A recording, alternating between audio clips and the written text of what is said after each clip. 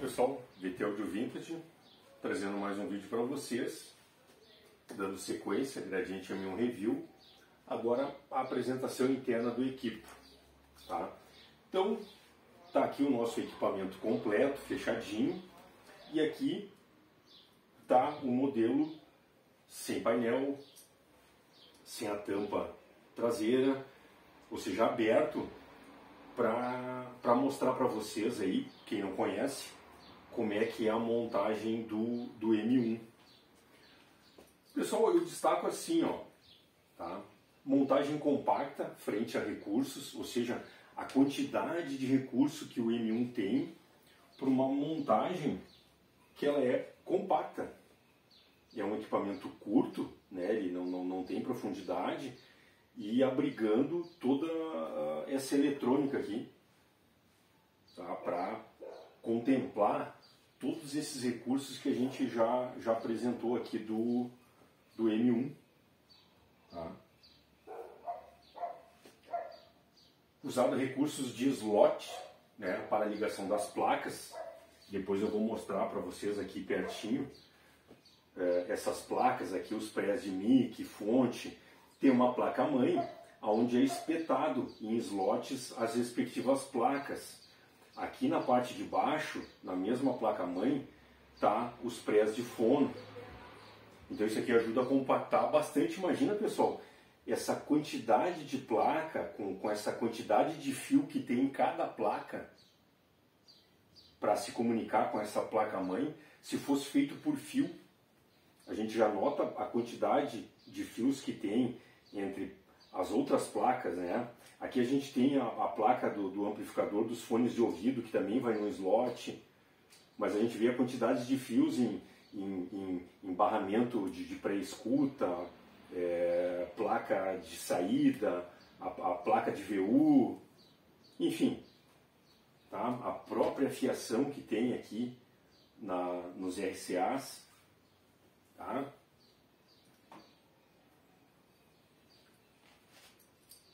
Usa um trafo toroidal, tá? como vocês podem ver. Está aqui o nosso trafo. E é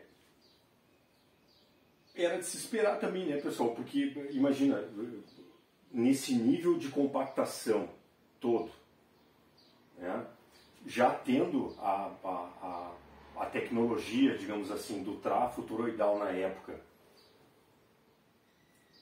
Imagina, Olha só essa montagem. Eu tenho um, um trafo pela demanda energética do M1 relativamente pequeno, uma altura slim, vamos dizer assim, né, baixa, fixado aqui na lateral. Aí aqui vem, vem a fonte de, de alimentação, toda a entrada C desse lado, retificação, filtragem, e aí depois a, a, os circuitos eletrônicos. Ok? Pessoal, esse equipamento aqui, ele ele está, digamos assim, no meio de uma revisão ainda, ele não está completo. Tá? Eu, na verdade, eu iniciei. Iniciei assim, ó, restaurei a moldura, eu já fiz um vídeo anterior mostrando, estava demolida, aí o pessoal ainda... Aquelas coisas, né, pessoal, para acelerar o processo. Cola o que sobrou da moldura no chassi, e, e, e, dessa vez ainda houve uma situação em que um dos que eu peguei colocaram araldite, sabe? Então foi um trabalhão para tirar é, no intuito de não quebrar o que sobrou da moldura, tá? Então consegui tirar, daí tem um processo de limpeza e tal, e aí depois a gente reestrutura as partes quebradas, como eu já mostrei em vídeo anterior, e se monta, né? colocado parafusos, espaçadores, tudo bonitinho. Então aqui essa peça mecânica foi restaurada a, funcionalidade dela, ou seja, é, consegue-se tirar a moldura caso seja necessário. Tá? Uns parafusos, porcas, arruelas, espaçador, enfim. Tá? Aí eu também aproveito, pessoal, e boto o acabamento de tecido aqui nas chaves. Tá? Aqui nos potenciômetros também. Então aqui na verdade eu estou do início, assim, tem, tem mais coisas aqui para fazer, tá? Uma fiação isolada com, com fita, enfim, e mais alguns detalhes, mas eu ainda estou no, no processo. Bacana que isso entrou nesse mesmo período e a gente pode mostrar para vocês, tá? Então começou a surgir as ideias, eu vou mostrar de pertinho aqui para vocês agora uh, o M1 aberto, então vamos lá. Ok, o chassi do M1, como é montado o VU, né, através dos, dos dois parafusos, com o sistema ali de, de espaçador e porca, tá? Tem, tem algumas placas que vocês vão ver que é fixadas pelo, pelos potenciômetros, né? ou seja, o potenciômetro é soldado na placa, é uma placa pequena, não representa é, peso, e eles aproveitaram, até por uma questão de, de, de, de, de espaço, uh, e fixaram através dos potenciômetros, tá? Pessoal, aqui ó, vamos virar ele aqui, tá? Então aqui é a parte, vamos virar mais um pouquinho, é a parte de trás, tá? Que vocês podem ver a parte AC, entrada de, de energia AC, essa aqui é a placa principal é, da fonte, tá? retificadora filtragem, Aí o M1 tem outras fontes que estão distribuídas, outros reguladores que estão distribuídos entre as placas. Tá? Aqui, só para vocês verem aqui, ó. ó. Isso aqui é uma placa pré-amplificadora de mic, microfone. Então aqui o pente, lá o slot e aqui embaixo a placa mãe. Tá? Vamos tirar outra placa aqui. Tá aí, ó. Aqui o VU, as lâmpadas, a iluminação. Tá? Aqui, pessoal, toda a conexão externa, né? Todas as, as, as, as entradas e saídas RCAs e os cabos chegando aqui na, na placa-mãe.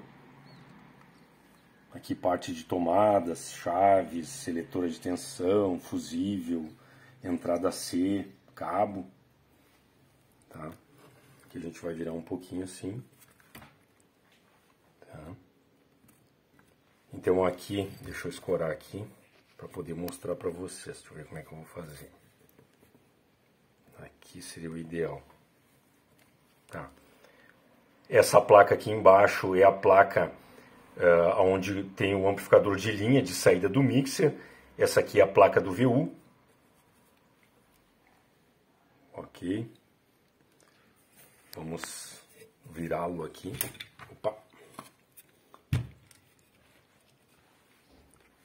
Aí, pessoal, mostrando por baixo, essa aqui é a placa responsável pela, pelo barramento de pré-escuta. Essa placa aqui embaixo, deixa eu virar um pouquinho mais para cá assim. Essa placa aqui embaixo tem os potenciômetros de PAN, as, as duas entradas frontais dos mix. Uh, essas placas aqui, ó, é o, é o pré, as placas pré de fono, tá? Então, pá. Vou tirar uma aqui para mostrar para vocês. Então, claro que essa é a parte de baixo. Então não, não aparece um relevo de slot, só aparece os furinhos na placa tá? Porque o slot está na parte de cima. Então a gente nota as outras placas, tá? O pessoal tá aqui, ó. Essa aqui é a, é a placa pré de fono, dois canais. Ali o pente.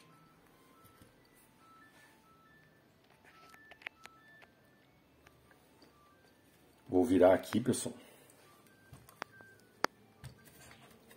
Aqui a gente pode ver o interior pela parte vista traseira, lá no fundo os potenciômetros de, de mixagem.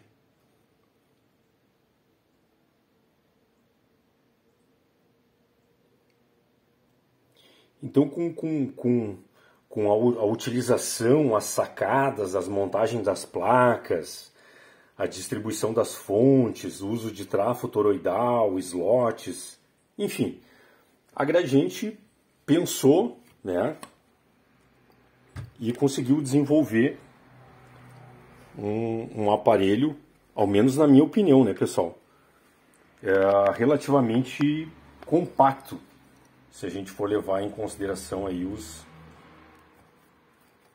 os recursos, né, do, do equipamento, tá? E as nossas placas.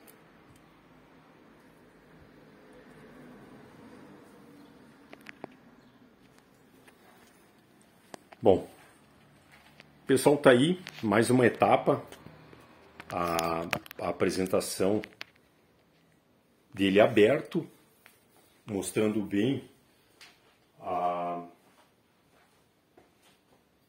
como é que ele é montado, esses recursos que eu achei interessante, né? Então, com ah, e, e é o que eu digo, pessoal, olha só a quantidade de pinos que tem em cada pente. Né? Imagina se a gente vai imaginar isso tudo feito por uma fiação. Que, que, como é que não ficaria isso aqui? E também a questão de captação de ruído e tal. Uh, achei uma, uma, uma excelente sacada. Ok? Então tá pessoal, a gente vai ficando por aqui, não esquecendo, CVV ajuda a vida, 188 ligação gratuita, causa animal, adote, seja consciente, faça parte dessa corrente. Tá? Pessoal, ative o sininho para receber as novidades, dê o seu like, se possível, prestigie o canal com a sua inscrição. Grato mais uma vez pelas participações e até um próximo vídeo.